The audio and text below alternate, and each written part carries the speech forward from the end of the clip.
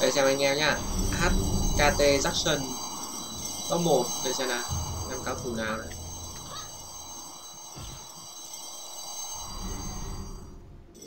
Thấy đây không?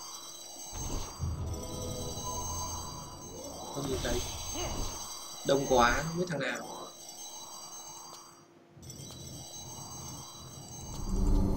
Không thấy nó đâu? Review nó phát xem nào.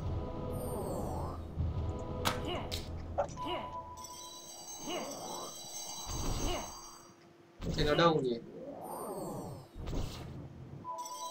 Chắc nó đứng ở đây thôi, nhưng mà đây nó nhiều người quá, nên là nó không soi được nó.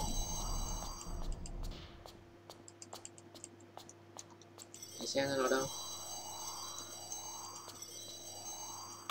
Đông quá, không soi được.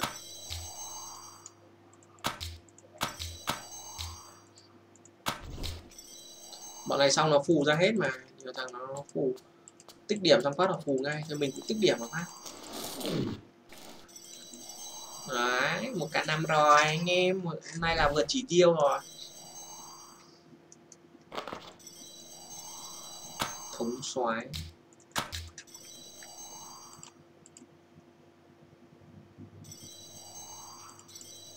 Min rồi không soi được. À mắc rồi, mắc giới hạn rồi, không soi được. Thống soái này anh em. Wow. Đặt tên nghe đã kêu kêu rồi.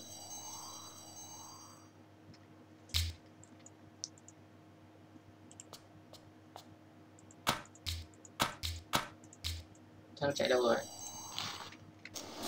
Nói tích nhiều nhiều vào đổi một lượt chả mấy.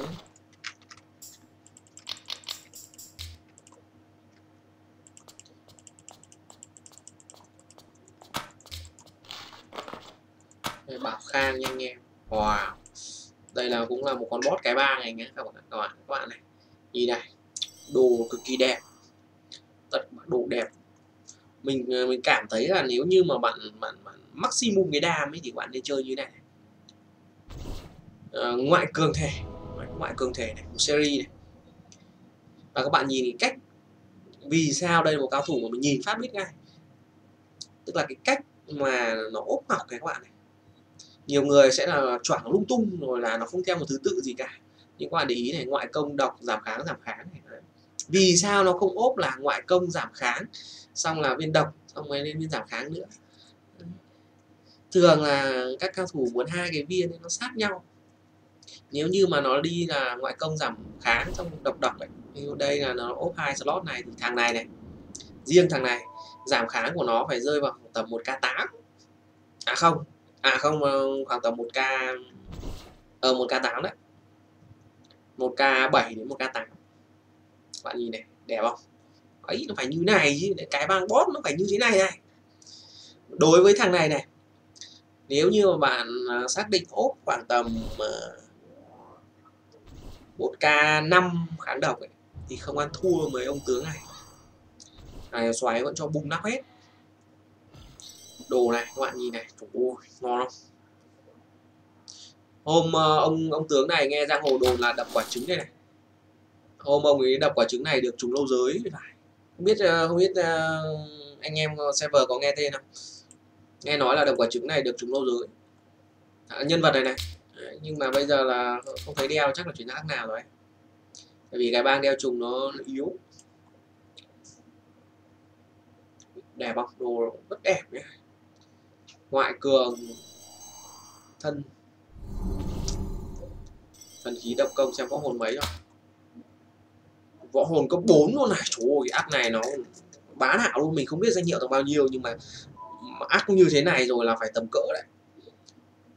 Tăng một k năm liền độc công này, bá vương lệnh này hình như 8 sao sao này? Hình như tá báo này 8 sao mới được một k năm độc công này. 8 sao hay 7 sao ấy. Còn bình thường nó chỉ được khoảng tầm 800 thôi. 700 800